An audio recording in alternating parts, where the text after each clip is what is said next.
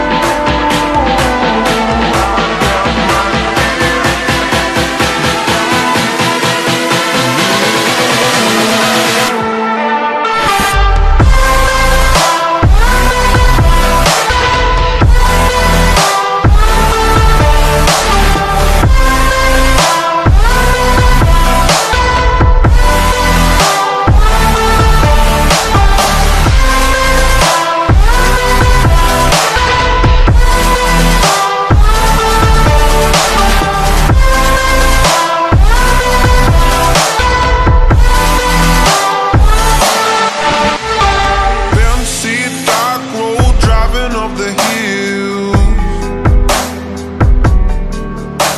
Looking at the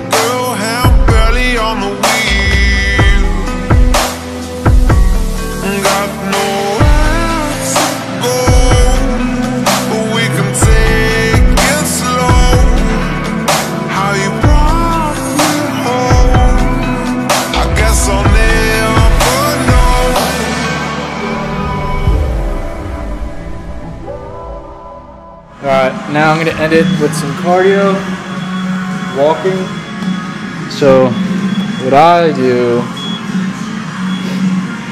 is do an incline walk at about 14. And then my speed, freaking goes.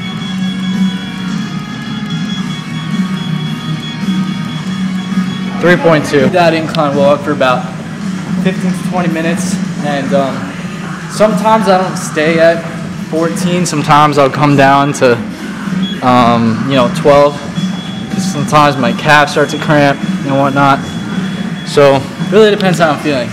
But I try to stay for a whole 15 minutes at 14 at a 3.2, 3.5.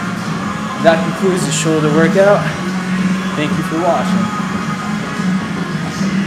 Hey, baby.